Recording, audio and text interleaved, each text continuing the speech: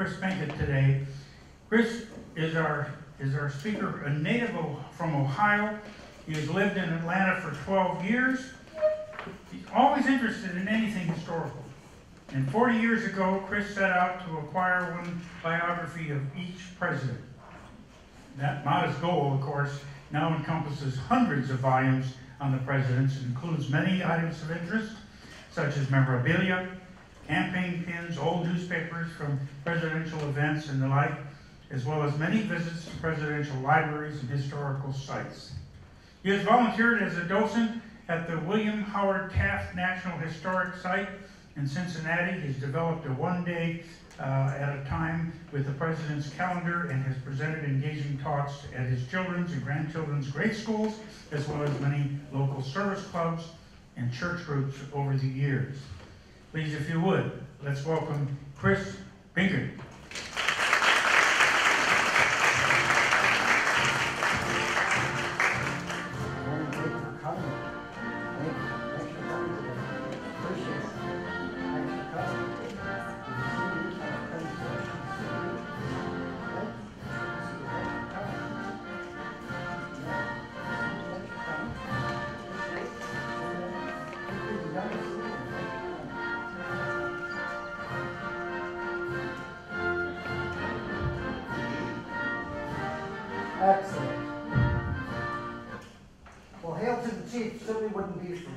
Personally, but there's a story involved in oh, about everything I'm going to say here today. There's a backstory, if you will. So, hail to the chief. You might wonder, well, when did we start playing that tune for the president? And, and the, it wouldn't have been George Washington because we just fought the revolution to get away from being, you know, under the thumb of the king. And is the mic on? It's okay, okay. Um, so, uh, it turns out, one of our presidents was rather short of stature, about an inch taller than me, it was James Polk. And his wife was kind of a fussy lady, she didn't even allow dancing in the White House. But she did say, you know what, when you enter a room, you need to be introduced, so let's have this music play. And so that's how Hail to the Chief started. Is president who was like five feet eight inches tall, who needed to be recognized as he entered the room. So what we're going to do today is just go through a whole lot of interesting items. Um, and I'm going to start this by asking you some questions. Tell me who is your, who was president when you were born? So I'm going to start right here. Who was president when you were born? What year were you born? 2006. Anyone want to help him out? That would be George W. Bush, who was president uh, when were. How about you, sir? Ma'am, what, what, who's were born? Eisenhower. All right, all right. We're going to talk about Ike. That funny story I learned just not long ago by him. It's pretty, pretty good. How about you, ma'am? Who you were born? Yeah.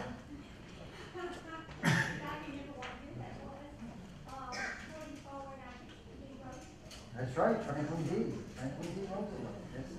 Anyone here who was president when Herbert Hoover was, who was born when Herbert Hoover was president? Okay, pretty much what of feel. Well, when I was born, Harry Truman was president. You know, the old buck stops here, man from Missouri, show me state, and, and we're going to talk about Harry in a few minutes too. Um, well, Donald Trump's our president. He's number 45, and he's a polarizing figure. We would all agree with that. But the one thing we also would agree with is we want him to succeed. He's the president for all of us. We want him to succeed. And one of the things about Donald Trump is he's, he came into office as an outsider. But he wasn't the first one to be get into that office as an outsider. Certainly right here in Georgia, Jimmy Carter had never owned a position, held a position in the government, this federal government. He was truly, and ran as an outsider, if you might recall. His campaign in 1976 uh, was all about, I'm not from here. I'm not from Washington, and I'm going to help fix it. But our presidents have some unusual backgrounds. Obviously, Mr. Trump was a reality TV star. We all remember, I think, Ronald Reagan was a movie actor. Uh, but we've had some unusual ones too. We have, well, Mr. Carter was a farmer. One of our presidents was a sheriff and a hangman. That was his job. That was Grover Cleveland, by the way, who was the only president elected to two non-consecutive terms. Um, and finally, we've had two that were college presidents. Woodrow Wilson, that's the easy one. Thank you, Eisenhower. Very good. He was president briefly of Columbia University. After World War II, five-star general, hero of the world. Columbia needed a strong figure to raise the money, so they hired Ike to be the president of Columbia, bringing some money. So that, that worked pretty well for him. But presidential backgrounds, the most common occupation of presidents, at least heroic occupations, is that they were military figures, starting, of course, with George Washington. And one of the things I brought to show you, a little tiny thin biography, The Life of Washington. The fun part is, this was published in 1827. So this is really old, really in, in great condition. Found this at a little bookstore in Massachusetts where my son was. Um, but of course, Washington, Andrew Jackson, Zachary Taylor, won the Mexican War, very hero of the Mexican War. Uh, General Civil War, General Grant, Rutherford Hayes, James Garfield. The Spanish War, Theodore Roosevelt. Eisenhower, of course, World War II. Richard Nixon was in World War II. JFK was in World War II. All with military history. And some say it's a great preparation to be commander-in-chief, which is one of those major pillars of, of responsibility that the president has. And even, even Mr. Trump went to military school. So, another question for you. Who would say, would you say is your favorite president? Sir, let me ask you that question. Who's your favorite president? Ronald Reagan. Tell me why.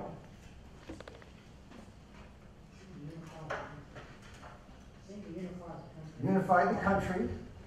Yeah, he was um, elected on a, of course, he defeated Mr. Carter and came in on a wave of uh, let's clean up the mess and get past Watergate and get a breath of fresh air and all of it. So I can endorse that sentiment. You're right. How, how about you? Who's your favorite president, would you say? Harry Truman? Okay. He told the truth. He, he, they used to say famously, give him hell, Harry, because that's what he would do. He would tell the truth, he would tell it like it is. And he didn't care where the chips kind of fell, so to speak. He one time, um, his daughter, Margaret, was an accomplished pianist and opera singer. And she was pretty good, but not great. So she gave a performance in Washington, and the local uh, theater critic wrote a fairly scathing, not very flattering article about Margaret's performance. Harry Truman, the next morning after he read it, dashed off this incredibly intense letter that says, if you, if I ever see you in person, you're gonna need a beefsteak to cover up the black eye you're gonna get from me. So Harry, yeah, he'd like to tell like it is. How about you, sir? How about your favorite president? Um, one that comes to mind would be Lincoln, Okay, certainly doing a uh, turbulent time in the country. Got a lot of vision, foresight, courage to, uh, help us to, uh, retain the union. A lot of people s- would say that of all the 45, Abe was maybe the greatest. And yet, he had so much failure in his life up to then. He failed in the military, he failed in, in his runs for Congress, he had failed in business. I mean, he, he truly had, had a lot of strife in his life um, until he got to that moment. And that's what American history is all about. Are we so fortunate to get to the right moment in our history and have the right person in that office to, to lead us where we need to go? Some would say FDR being there in World War II and, and the Depression is a lot of the same idea. How about you, sir? Your favorite? Uh, I, I guess it would be Truman. Truman? For a different reason? Well, he, he, he he saw us, uh, well, I, That's okay. No problem. No problem. Uh, who's got another favorite president? Yes, sir. I would endorse the first answer of President Reagan. I state the principal reason he led us in the course that ended the Cold War without it becoming a holiday. Mm-hmm. He built up the military to the point where Soviet Union couldn't really compete and and made it very difficult for them to compete. Yes, indeed. Good, good. One more, let's, one more. Favorite president? Yes, ma'am. Is George Washington. Okay. I think uh, we've been taught just how much uh, he did to form the government we have, he and Hamilton actually. But uh, they resisted a lot of uh, other politicians at the time, and they were able to form a a cohesive government. And I think uh, he's appreciated for that. Right, that's a, that's good insight. He, he set the tone for much, much of what the presidency is, he really did. He, he set, famously set the two-year term, two-term, two-term limit. That was, uh, the case until, uh, FDR felt he needed to run for the third and fourth term. Um, but yes, he, and he's, we, we just now said, well, there's Washington, he's on Mount Rushmore. We talked about Lincoln, Theodore Roosevelt, of course, uh, Thomas Jefferson being Rushmore. Um, Well, let's, let's go through some other, some other little interesting factoids. John Quincy Adams, of course, he was son of a president, son of a president, George Bush, son of George H.W. Bush. Um, But many, many people don't realize John Quincy Adams, he was the man who wrote the Monroe Doctrine for President Monroe. He was the guts behind it, and was a famous diplomat. Got to be president, difficult uh, presidency, only a one-term president. but He served in Congress 12 years following his presidency, which is very unusual, of course. Um, and he died of a stroke right at his desk in the, in the Capitol. And died two days later, but he had the stroke like right there. Um, and then Andrew Johnson, another somewhat infamous president, because he became president after Lincoln was assassinated, um, and was the first, first president to be impeached. But he was elected a senator. Back then, electing a senator was from the legislature of his state. It wasn't a statewide popular election. The legislature all got together and said, here's who we want to be our senator. And, and so the senators from Tennessee, or legislators from Tennessee, got him to be their senator. He served for a very short time, only six months till he passed away. So those are the two that have gone on to elected office after uh, they were president. And of course, Andrew Johnson, as I said, impeached. But the story there, and some of you would remember the famous Paul Harvey radio show, where he would say, and now you know the rest of the story. And that's what kind of these are like. Um, because President Johnson was impeached, it was a very political type impeachment. Uh, it came to, so the House, as you recall, the House votes articles of impeachment, and then the Senate has a trial and there's a literal trial. He escaped being thrown out of office by one vote. That one vote was from a senator from, I believe it's Kansas. And famously, John F. Kennedy wrote a Pulitzer Prize winning book called Profiles in Courage. One of his six profiles in courage was about Senator Ross, who cast that deciding vote to keep Andrew Johnson in as president. So, uh, yeah, JFK won it in in 1957, helped him become president himself. Now, William Henry Harrison, he's famous for, for what? The shortest presidency. Um, 31 days or 32 days. He gave the longest inaugural speech by far. It was over 8,000 words. It took over two hours to deliver in a sleet storm in Washington. And of course, he caught pneumonia and died 30 days later. Uh, some things very little people know about William Henry.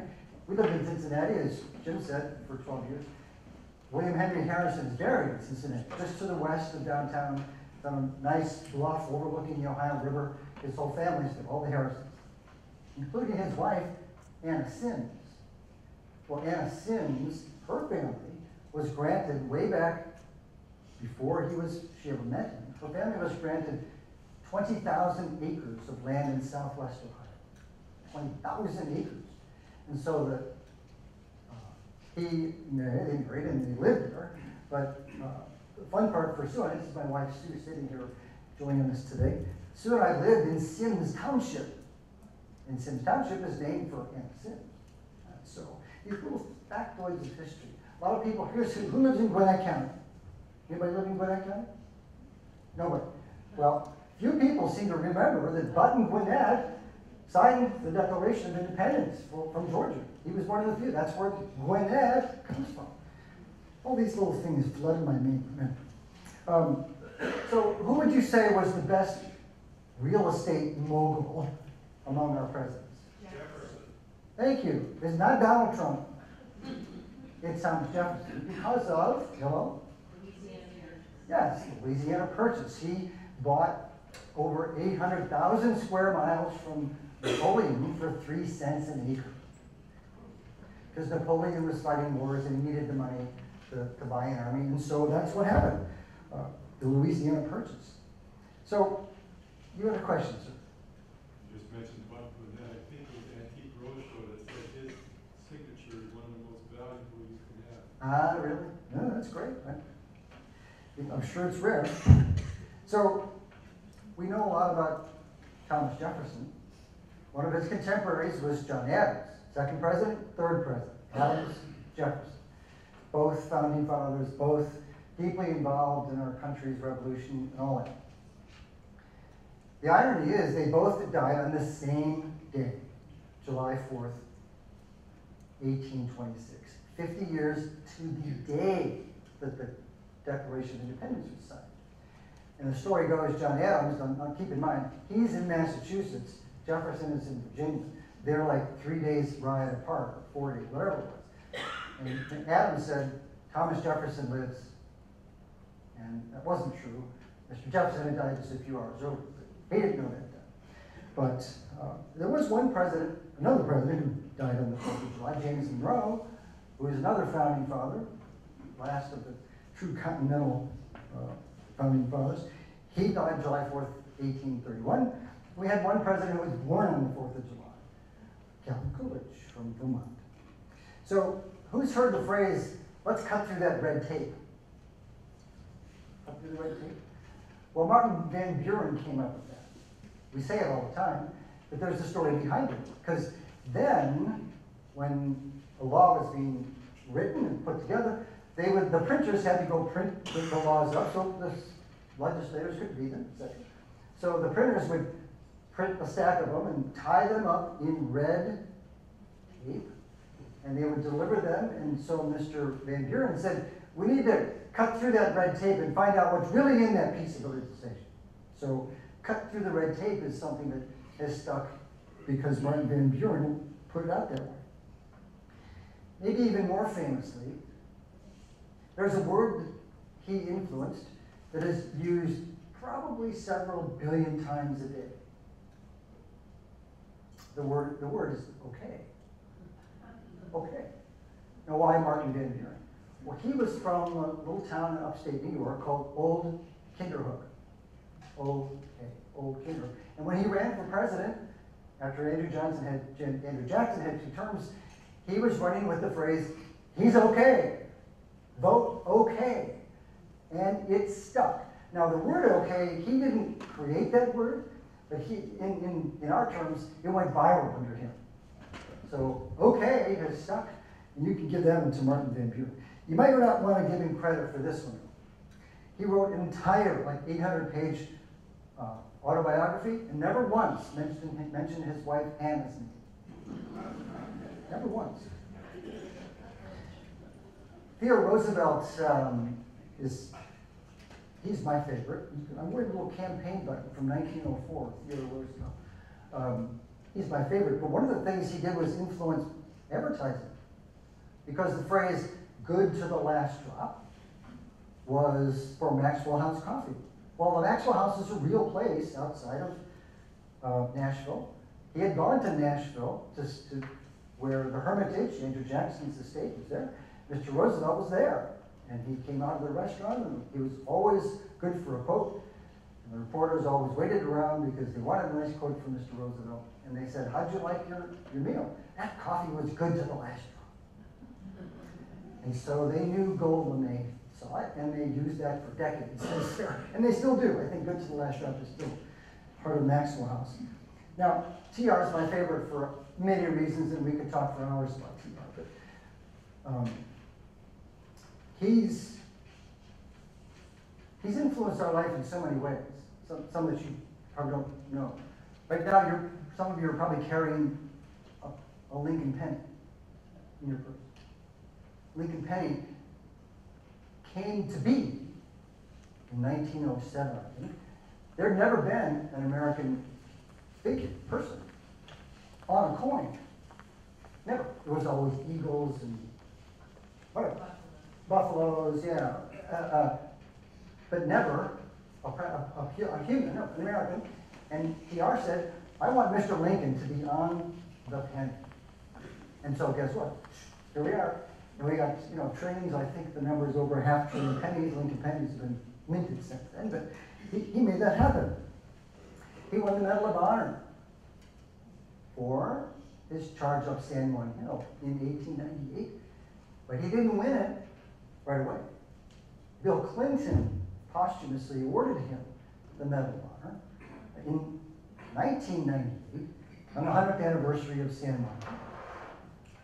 And coincidentally, Theodore Roosevelt's son, his first son, Ted, also won the Medal of Honor because he was part of the D-Day invasion and died like three days or so after D-Day, which by the way is tomorrow, the 75th anniversary is tomorrow. Um, but both Ted and Father Theodore won the Medal of Honor. They weren't the first, however, father and son to win the Medal of Honor. Um, Douglas MacArthur and his father, Arthur MacArthur, also won the Medal of Honor. So Roosevelt's weren't the first, but it's still pretty cool. Um, he was the first president to win the Nobel Peace Prize. He settled a long-running war between Russia and Japan in 1905. Uh, he was an author of 30 books. He was a scientist. He was, a, of course, the Rough Rider. He was an adventurer. He went down and discovered a new river in Brazil called the River of Doubt. If you look at a map, it's not called the River of Doubt anymore.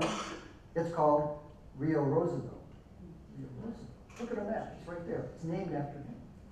Um, he was an environmentalist. He set aside 230 million acres of land. He was a rancher. And, and I know Jimmy has given talks about Theodore Roosevelt. And we all know, of course, where the teddy bear kind of came from, right? That's a real story. When he was president, he loved it. He was a hunter. Loved. He'd been to Africa safaris. If you go to his home in Oyster Bay, New York, you see all these bison and elk and animals hanging out. Um, but they took him on a hunting trip when he was down south. I think it was in Arkansas, I believe. And he'd hunted all day and hadn't shot him. So they really wanted him to, you know, get something that day. So they had, had a bear, got a bear, whatever they did, they tied the bear to a tree and said, Mr. President, here you go. And of course, he refused to shoot the helpless, tied up critter. And, um, and so that story kind of got out because he was famous for quotes, and that story got out there. Well, not long after, uh, he was approached by a toy manufacturer who said, "We love that story. We'd like to create a bear, a stuffed bear." And Mr. Roosevelt said, "Well, sure, go ahead. I don't care. Knock yourself out." But I don't see why that would be popular. So, seven trillion teddy bears later, we have. It. So, one more story about Teddy, and I'll move on. He, uh, when he was in the White House, of course, he was a believer in what he called the strenuous life, physical activity, and he was asthmatic as a child. When he was your age, he, they didn't think he was going to make it. Um, but he went west, he got himself fit, so he believed in the strenuous life. So when he was in the White House, the Army, he felt, was getting fat and flabby, not in good shape. And he said every officer should be able to ride 100 miles in a day. And, and that, that should be something that we use as a fitness test. He says, to show you, I'm going to do it. So they set up, this is in January or February, cold in Washington. He set the date, going to do it. Got four or five of them. Off they go. and they rode like 50 miles out into Virginia, some little place, had, had lunch, and rode back. But they rode back in a sleet storm. And it took them a lot more, lot longer. So we finally arrived at the White House. His wife met him at the door, And of course, he's crusted with ice and snow, and he says, that bully well shows them that that's how to be fit in the army. So, someone mentioned Harry Truman, yes, sir. Uh, just another thing about Theodore Roosevelt, he was herding cattle out west with a bunch of, uh, cowboys. And he said, hasten along quickly there, boys, and they laughed at him. Hasten forward quickly. He was famous for that. Yep, they laughed out loud because he was the New York bred, Harvard educated, uh, young Eastern, Easterner who's on the, out on the west in the Dakotas ranching. Yeah. Of course, he did that. Why did he go west? Not only did his wife die, his mother died at the same house on the same day, Valentine's Day. And so if you ever see pictures of his diaries, a big black X through that thing. And, uh, and his mother, by the way, was Mittie Bulloch. Bulloch from Georgia, Bulloch from Roswell, Georgia, and there you have it. So everything comes full circle, it seems. Um, Harry Truman, when I was, when I was, born, he was president.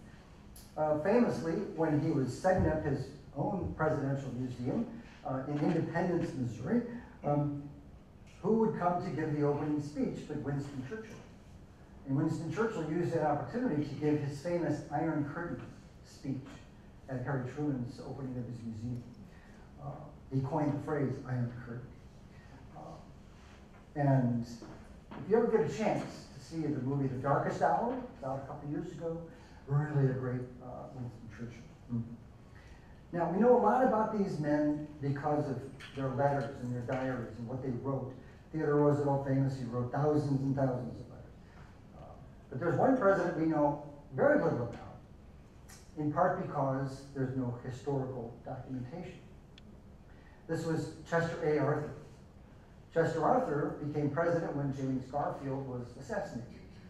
And the whole country held their breath because Chet Arthur, oh my God, he was a known um, he was the, the, the, head of the Port of New York tax collector. He was kind of famous for being maybe yeah, a little crooked, a little under the table.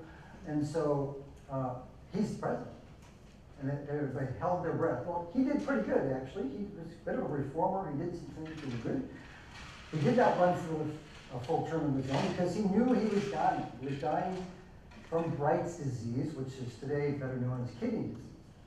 What he did toward the very end was he got his uh, valet and his butler and said, I want you to burn all my papers. And that's exactly what they did. They burned everything that he had. So there's no historical record about much about Chester A. Arthur that we could know. Um, so I mentioned presidential libraries. Who do you think has the first presidential library? Anybody want to hazard a guess? Nope, not true. Long before. It was Rutherford B. Hayes. One of our more obscure presidents. We grew up 40 miles from Fremont, Ohio, which is where he was from.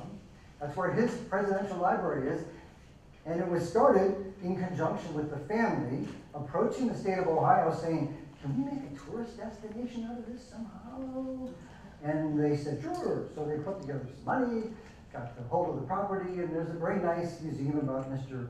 Hayes right there in uh, Fremont, Ohio, if you ever get close. Um, JFK strikes most of us as a heroic, tragic figure. How many of you would remember where you were when you heard the news? So where were you now? Um, at work, and, uh, heard it on the radio. Heard it on the radio, you were at work. How about you? I was at school. You were at school, so was I, I was at school. Someone else?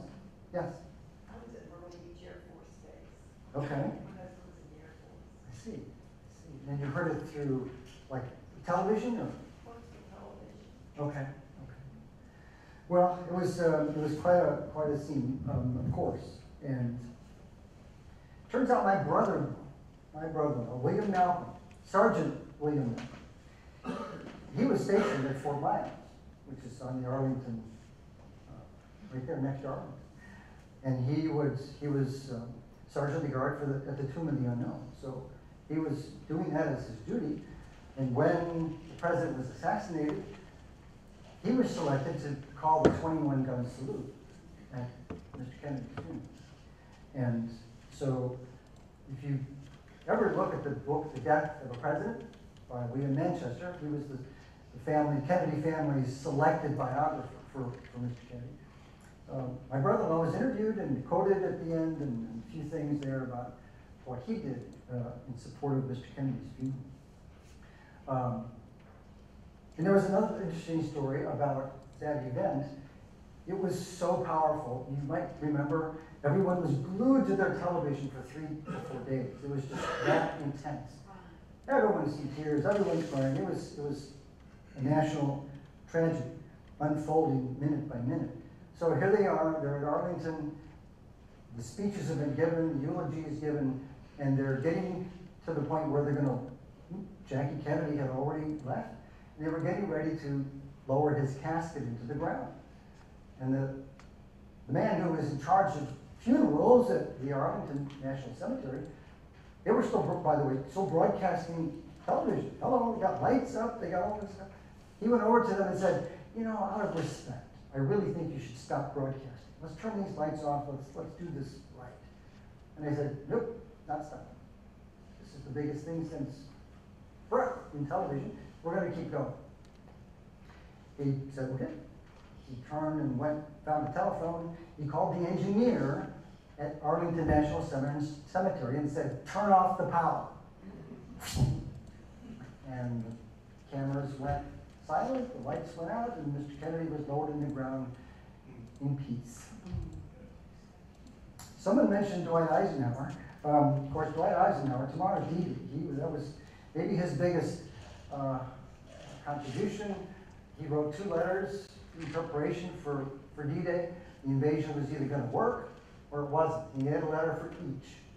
And then the one that he never had to use, which said, in this case, we failed, our, our invasion has failed, he took complete and one hundred percent responsibility.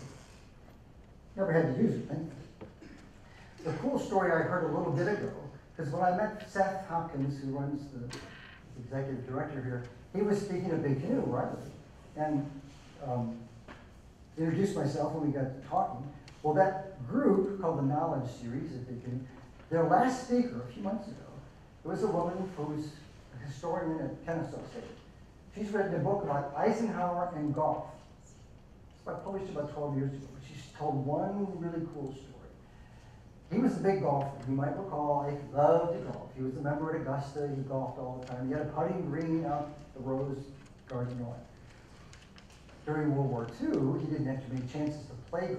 But in Italy, in forty-three, it was somehow arranged where he and General Marshall, General George Marshall, were gonna play around the golf. So it's all laid out. A lieutenant in the army was uh, his caddy.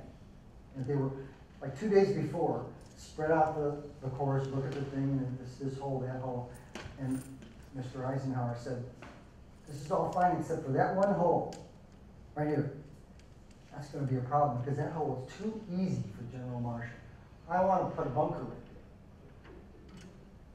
there. And the lieutenant said, uh, it's forty-eight hours from now, I don't know how I'm gonna get that done, sir. He said, I think I know how. Have the Army's most accurate bomber pilot come and see. And that's exactly what happened apparently. Plane came right down the fairway and dropped that bomb right in front of the green. Boom! Got your bunker, filled it with sand, and there you have it. And now you know the rest of the story. So, which president do you think coined the term war hawk? War hawk. Oh, I hear about hawks and doves and all that, birds. War hawk. Where, where, where we, where did that come from? Yeah. That was Mr. Jefferson. Something that's lost in the annals of the State Department is something called the XYZ affair. And it was a dispute, this diplomatic dispute with France. And not unlike today, when we get all puffed up and all irritated about something, we want to go, we want to go to war, let's go fight for what we think is right. Well, they were became known as war hawks. Mr. Jefferson coined that term, said, you are a war hawk.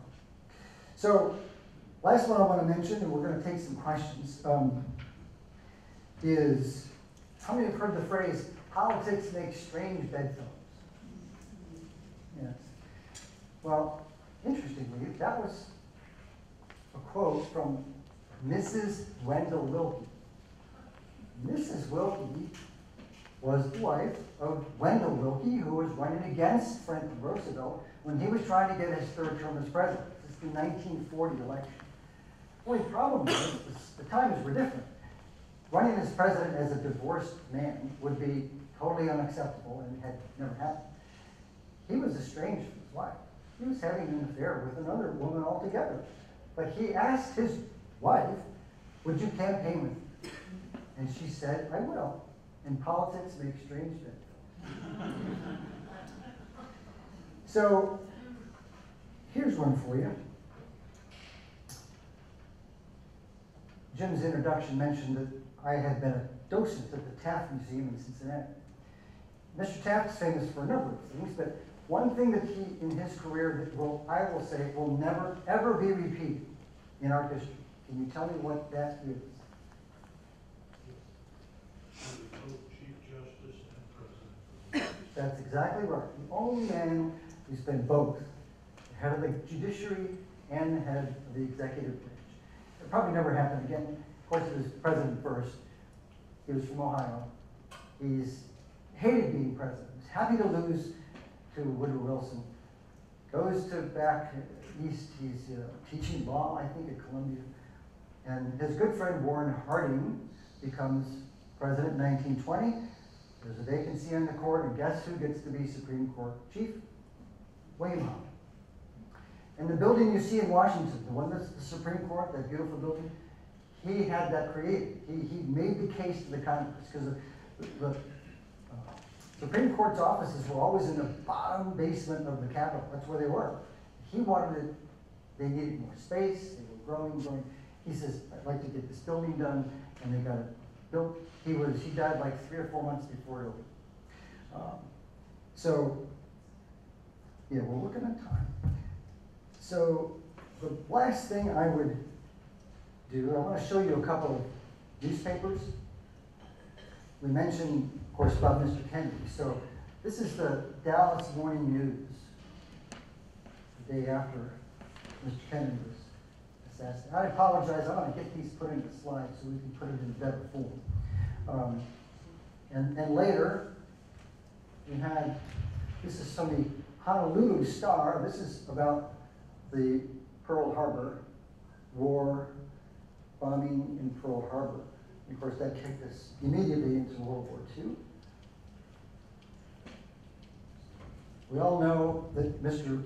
Roosevelt got his fourth term, but he didn't make it through the fourth term. He only made it a few weeks into his fourth term. This is the Toledo Blade, which is our hometown. And when Harry Truman found out he was going to be president, he'd been vice president for like I 90 days. He'd seen Roosevelt once in 90 days. And when he said, What was your reaction upon hearing the news, Mr. President? He said, I felt the moon, the stars, and the earth had all fallen on my shoulders.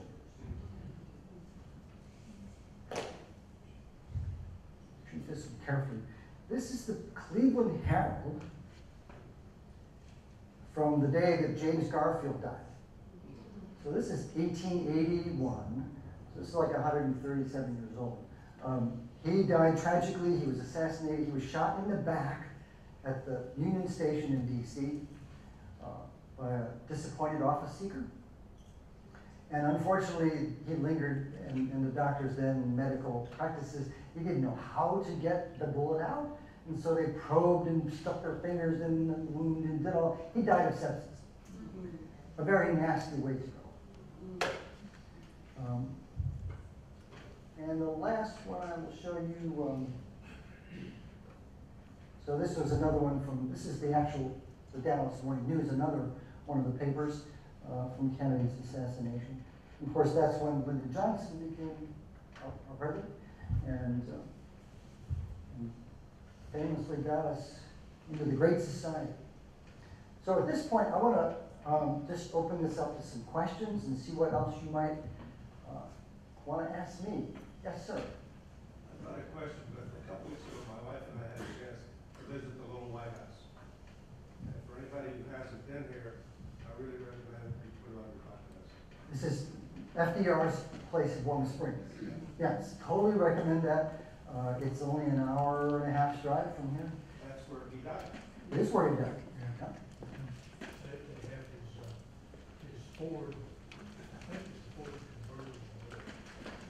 They do. It's all adapted so he can, he could drive it even though he was paralyzed.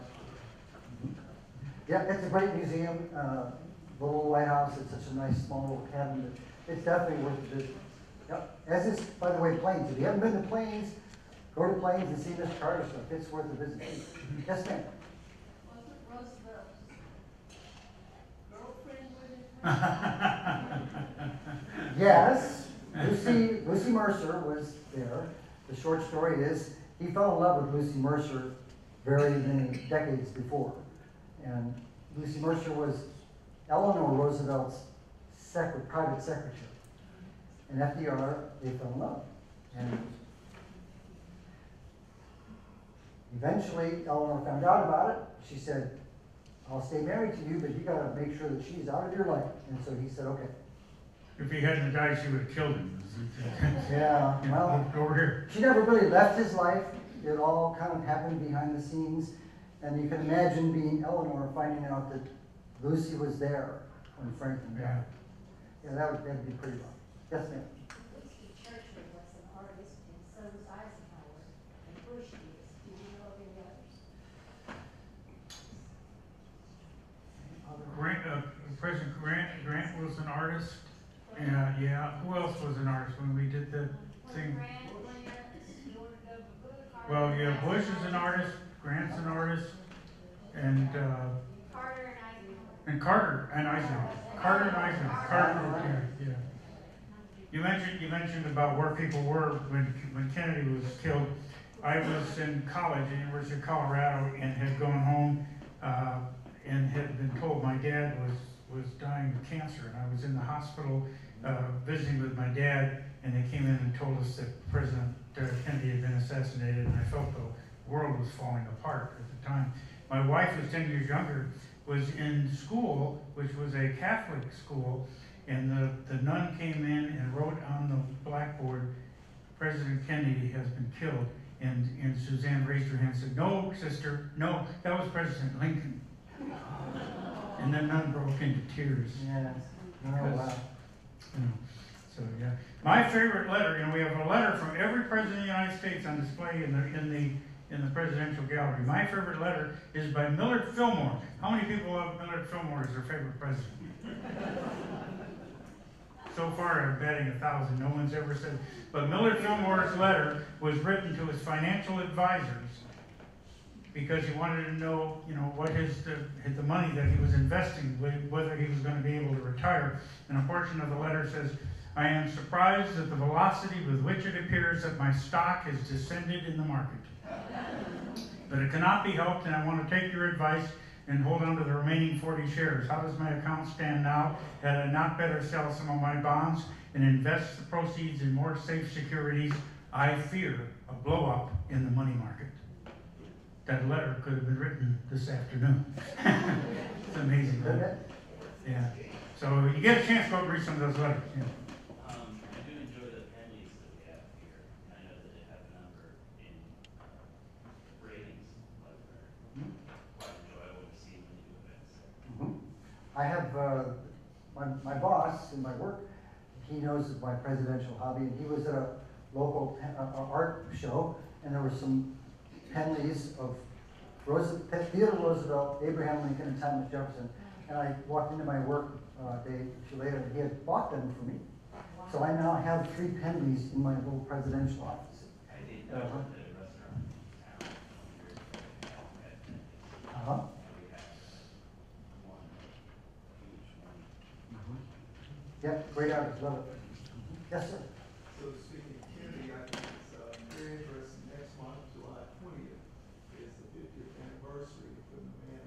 Yeah. Mm-hmm. So that's fascinating going back and looking at some of that history. And it didn't really start with him. I mean, in World War II, um, you had Truman played a role, and you had Eisenhower. All those things led up to the American moonshot. That's fascinating. The fascinating part was, for me, it was always um, he was the one who, in his famous speech, says, Here's my goal. I think we should get to the moon by the end of the decade and bring the man back safely. And, and that was the rallying moment and marshaled all the resources to make it happen. Of course, we were wanting to be first, not let the Russians get there first, that stuff. Uh, Yeah, I, I've always wondered, why can't that type of rallying cry be established for some national goal? Really, we could get consensus around and just go do it. I'm still waiting for that. Other questions? Well, I appreciate your time and your energy. Uh, my name and contact information is up there for a reason, and that is because I love to do this talk. I've given it lots of times. I give it to social uh, service groups and church groups. It's free, and if you reach out to me, and I can do it, it's all reasonable, I'd be glad to come do it for one of your groups too. So thank you very much. Thank you very much. Ladies and gentlemen, Chris. Thank you.